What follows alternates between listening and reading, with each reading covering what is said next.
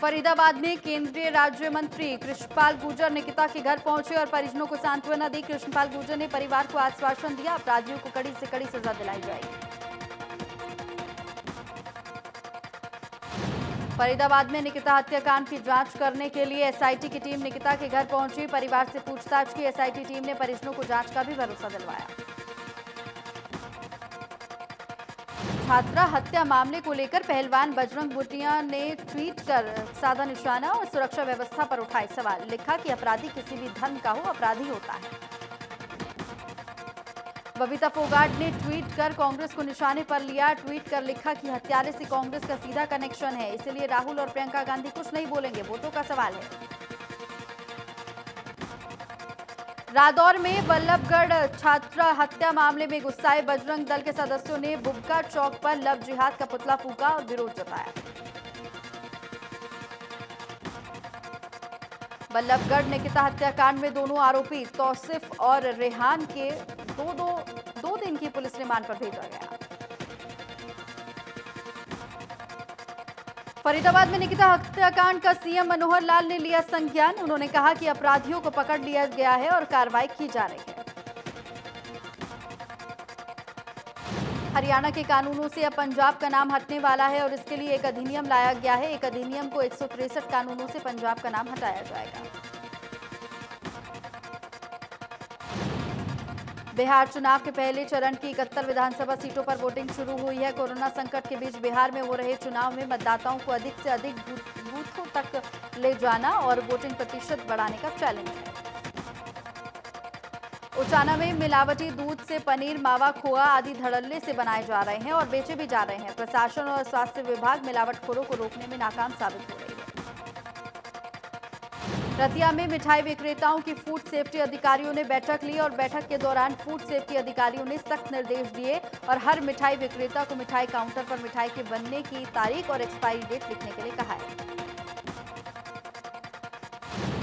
भवानी खेड़ा में मांगे पूरी नहीं होने पर नगर पालिका सफ़ाई कर्मचारियों में रोष देखने को मिला। नगर पालिका कार्यालय के सामने दो दिवसीय भूख हड़ताल पर बैठे कर्मचारियों ने प्रशासन को चेतावनी दी और मांगे पूरी करने के लिए कहा। सिरसा में खेल स्टेडियम धूल फांक रहे हैं तो वहीं आपको बताएँ कि देखरेख न होने की वजह से भवन खस्ताहाल हो रहे हैं। संसाधनों के अभाव में प्रशिक्षण लेने आने वाले युवा भी खेल परिसरों में आने वाले, आने से कतराने लगे हैं। पंचकुला में 70 से ज़्यादा गायों की मौत का मामला सामने आया। माता मनसा देवी गोधाम में गायों की मौत हुई है, जबकि 100 से ज़्यादा गायों की तबीयत अभी भी बिगड़ी हुई है। मौके पर पशु चिकित्सकों की टीम पहुँच चुकी है। यमुनानगर से जेजेपी नेता के बेटे पर सत्ता का खुमारी का नशा सामने दिखा है। जेजेपी के जिलाध्यक्ष अर्जुन सिंह के बेटे भूपेंद्र सिंह का बुढ़िया थाने में एसएचओ पर पिस्टल तान दी। सोनीपत में मुरथल के मशहूर ढाबे पर बेटरों की दबंगई का वीडियो सामने आया। सुखदेव ढाबा पर खाने खाने आए दो युवकों को बेटरों ने बुरी तरह पीटा। करनाल में पुलिस को कामयाबी मिली है। 18 से 19 लाख रुपए की कीमत वाले 45,800 नशीली गोलियों सहित दो आरोपियों को पुलिस ने गिरफ़्तार कर लिया है। पकड़े गए आरोपियों को पुलिस ने कोर्ट में पेश कर दो दिनों की रिमांड पर भी लिया।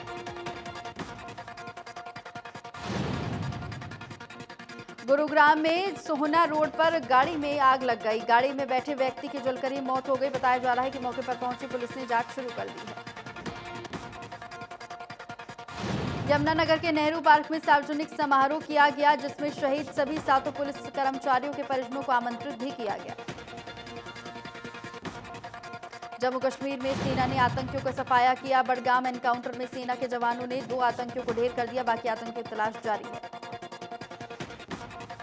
पलवल में आठ साल की उम्र में ही छात्र आदित्य अग्रवाल ने अपना YouTube channel techie Adi coding for kids Hindi में चला रहा है, जिसमें वो बच्चों को कंप्यूटर कंप्यूटर कोडिंग करना मुफ़्त में सिखाता है। पूरी दुनिया में कोरोना के आंकड़े हुए चार करोड़ बयालीस लाख के पार, अब तक ग्यारह लाख इकहत्तर हज़ार से ज़्यादा मरीजों ने गवाई है जान। तो पूरी दुनिया में अब एक करोड़ के पार एक्टिव केसों की संख्या।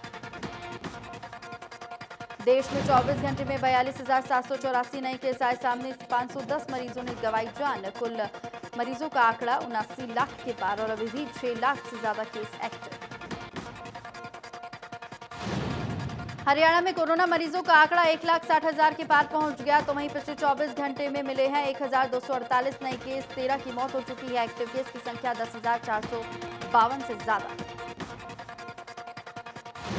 गुरुग्राम में कोरोना संक्रमण के 346 नए केस आए सामने जबकि 244 मरीज़ ठीक हो चुके हैं। ज़िले में अब 2,988 केस एक्टिव पाए गए हैं। 28,321 कोरोना के कुल केस पाए जा चुके हैं।